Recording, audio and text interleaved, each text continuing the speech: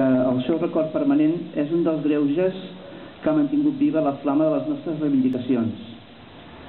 Ens trobem davant del mateix adversari, molt poderós, molt potent, encara que per sort nostra aquesta batalla no requerirà ni espases, ni fusells, ni canons.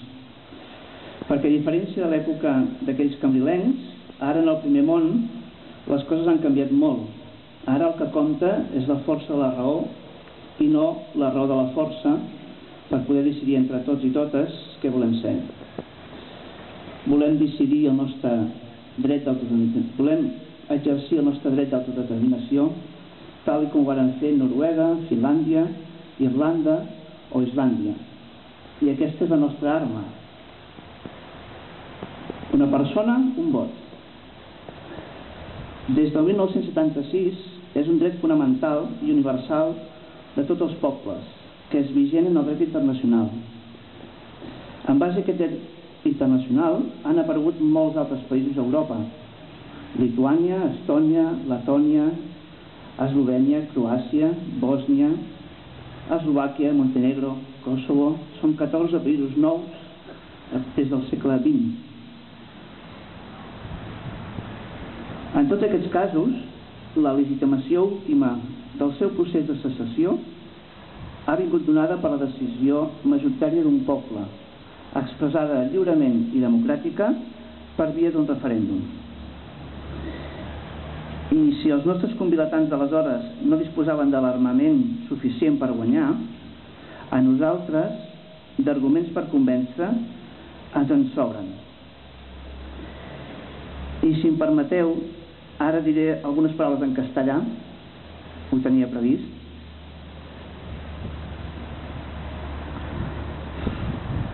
Esta parte del discurso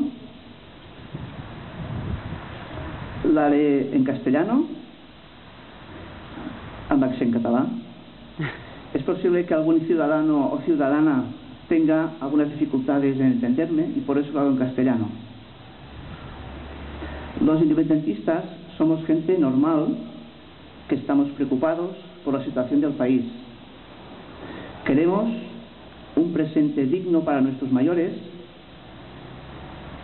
queremos más justicia social y un buen futuro para nuestros hijos. ¿Y quién no? Pero tal y como van las cosas, así no se puede. Los independentistas estamos convencidos que solo se puede si es haciendo un país nuevo. Miguel de Unamuno, en su día, dijo, venceréis, pero no convenceréis. Pero este no es nuestro lema. Nosotros queremos convencer para poder vencer.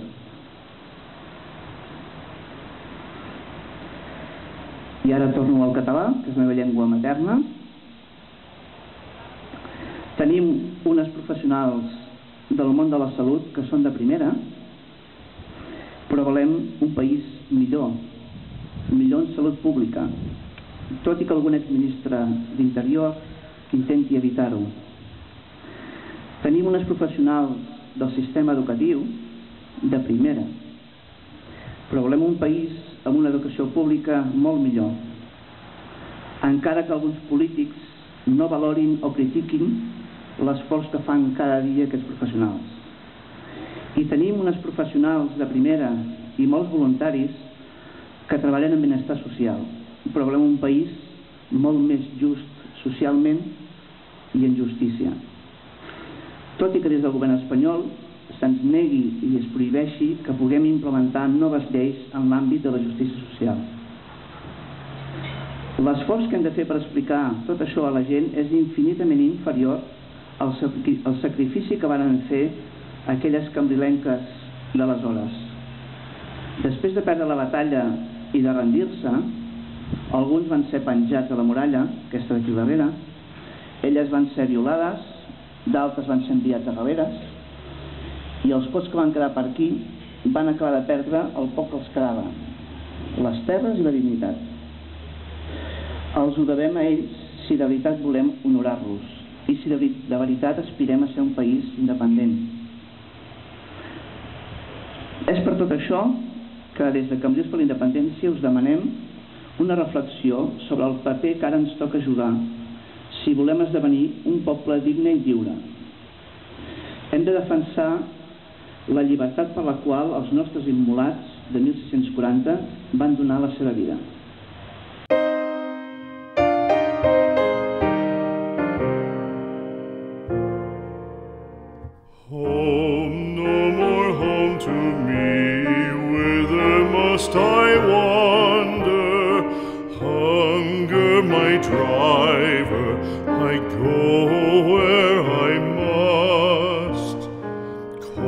cold blows the winter wind over hill and heather. Thick drives the rain, and my roof is in the dust.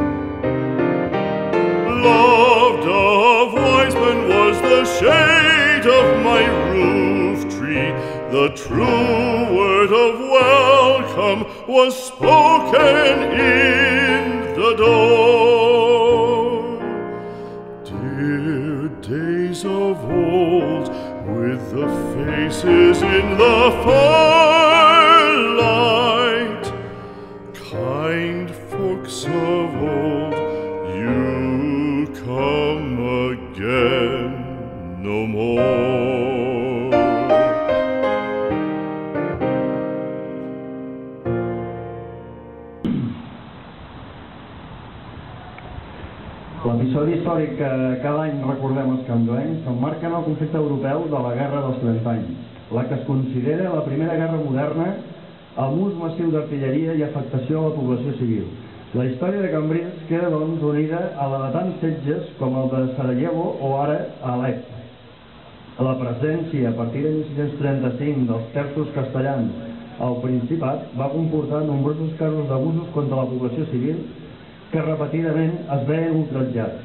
El malestar es va convertir en importants disturbis que van desembocar a la revolta popular del juny de 1640 a Barcelona.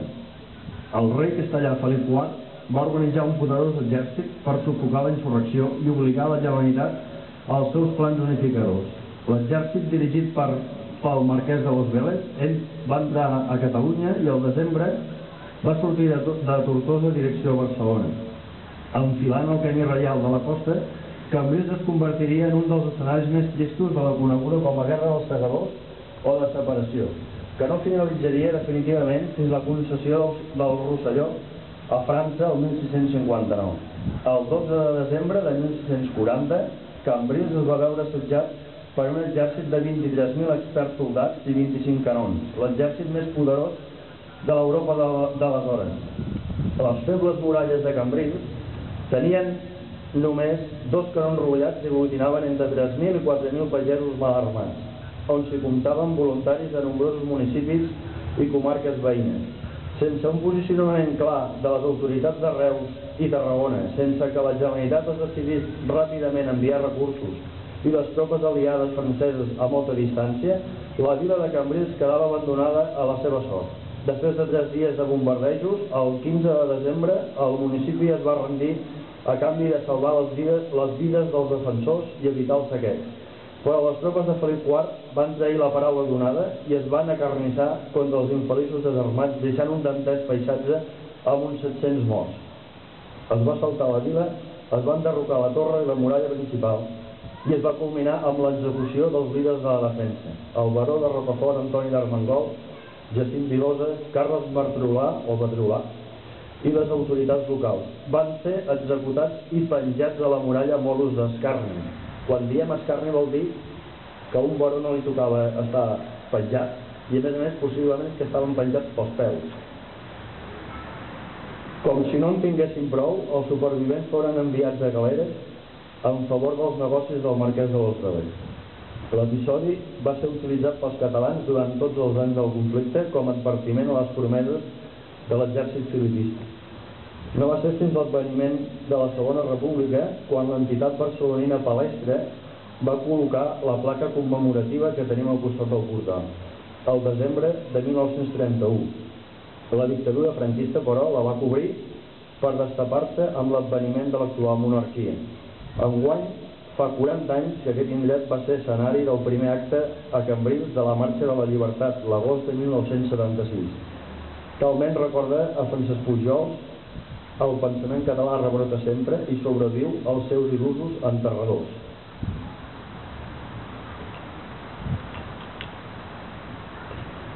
Aquesta és, doncs, la indubtable, repeteixo, indubtable història d'un senzill municipi que es va enfrontar a la barbària d'un imperi totalment injust amb les lleis del nostre país. En el moment històric que vivim, hem de tenir present la desesperació dels camblencs d'aquell fred desembre de 1640 quan van albirar l'arribada de l'imponent exèrcit opressor i quan un cop derrotats i desarmats es van veure assaltats a mata de golla. Rememorant això, els cambrencs no ens pot fer mandra assistir a una concentració de suport a una representant independentista perseguida per l'estat espanyol o a parlar sobre el referèndum amb veïns que encara tenen dubtes sobre la viabilitat de ser un estat. Per altra banda, els càrrecs electes que estan a favor d'obeir el mandat del Parlament de Catalunya han de saber que sempre tindran tot el nostre suport. Però també han de ser conscients que ara més que mai han de tenir una actitud exemplar en l'exercici del seu càrrec. Exigim total transparència i que cap pastelada serveixi per tapar les vergonyes. Ni partidismes ni personalismes. I com deia Vicent Andrés Estellers, car diràs la paraula justa, la diràs en el moment just, car la diràs honestament, iradament, sense pensar en ninguna posteritat, com no sigui la del teu poble. Tenim dret a construir un nou país i on existeixi una separació de poders inexistent a l'estat espanyol, i on cada dia veiem com els que volen posar urnes són perseguits mentre es protegeix la catalanofòbia i la violència de l'ultradreta. Cal recordar que el procés polític que viu Catalunya no, exclusiu, amb, no és exclusiu amb l'idioma que cadascú parla o pensa, ni amb la identitat, que en un món globalitzat pot ser múltiple. El que es debat és una qüestió de democràcia, poder decidir què volem ser i quin futur volem tenir. Si cal ho tornarem a dir les vegades que calguin. No demanarem permís per ser i poder decidir. Hem de ser conscients que en proporció a la nostra població som protagonistes del moviment social més important que hi ha actualment a l'Europa del Sud. I la gent de camins hi hem de ser. No hem de mullar. Hem de sobrepassar un estat espanyol amb institucions heretades del franquisme on cada dia se'ns demostra que no es compleixen principis democràtics bàsics com la transparència en el finançament dels partits, el dret a l'habitatge o uns serveis públics de qualitat. Com va fer Rosa Parks o Gandhi, cal superar unes lleis injustes i cal fer valdre el dret internacional, el dret a l'autodeterminació.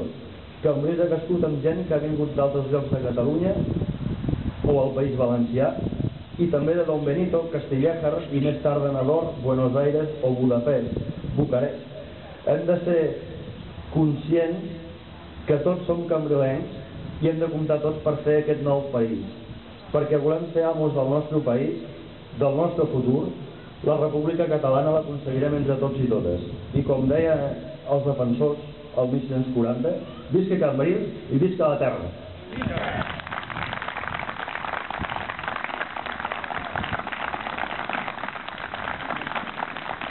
Aquest any tenim l'honor de poder-lo cloure amb la presència del secretari de l'Assemblea Nacional Catalana, de la Regió 4 i professor de la Universitat Rovira Virgili, el, dret constitucional, el senyor Jordi Jària, i seguiment ens farà una, una cruenta. Gràcies.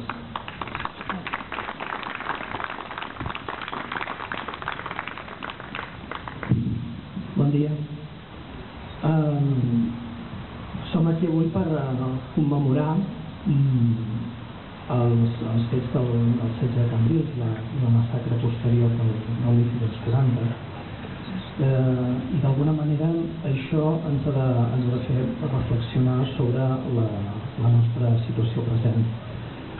No hi ha poble que se sostingui, no hi ha poble que s'aguanti sense eh, el recurs a la memòria. La memòria és la nostra força, la memòria és la falca la nostra identitat i per això actes com aquest d'avui són extraordinàriament importants.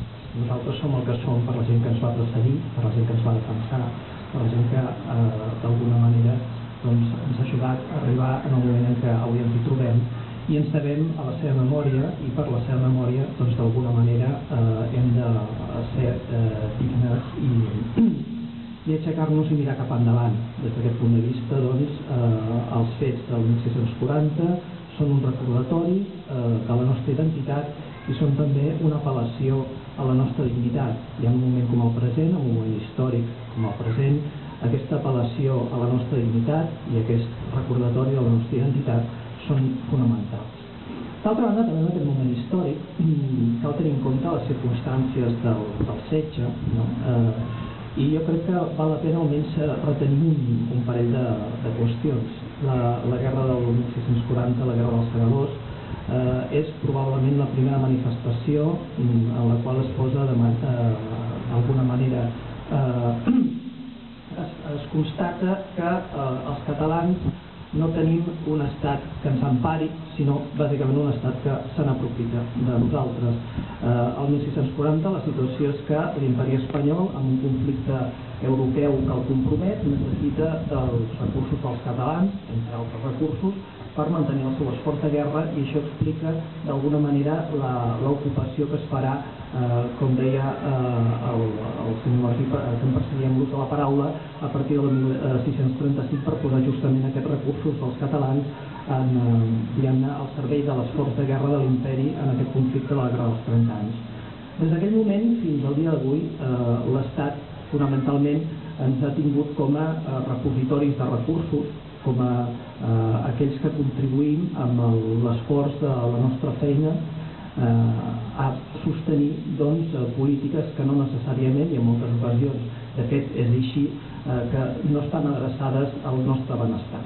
Això mm, no ha canviat en, en essència i és el que sosté d'alguna manera i el que ha sostingut al llarg del temps la voluntat dels catalans d'esdevenir eh, un estat propi, ja que aquell que tenen fins al moment doncs, eh, no els serveix. Aleshores, eh, des d'aquest punt de vista, el recordatori de la Guerra dels Segadors, el recordatori del setge de Cambrils, és el recordatori d'un estat que no ha estat el nostre durant mm, més de quatre segles i potser doncs, ha arribat el moment de replantejar-se la situació i de eh, efectivament tenir allò que anomenem un estat propi, és un estat que realment sigui el nostre, que sigui el nostre servei, que representi la nostra voluntat democràtica i que eh, ens ajudi a tirar cap endavant. Uh, un altre fet que jo crec que val la pena uh, tenir en compte en aquest uh, espai de memòria, en aquest espai de reflexió, és que avui que estem enmig d'aquesta uh, anomenada operació diàleg, uh, és interessant de fer una mirada enrere i veure que um, les ofertes de diàleg en el passat no han estat massa reeixides. Uh, afortunadament, uh, la situació d'avui no és la situació del, del segle XVII, afortunadament avui no estem en una situació de violència, però de manera anàloga a com eh, el 1640 el setge de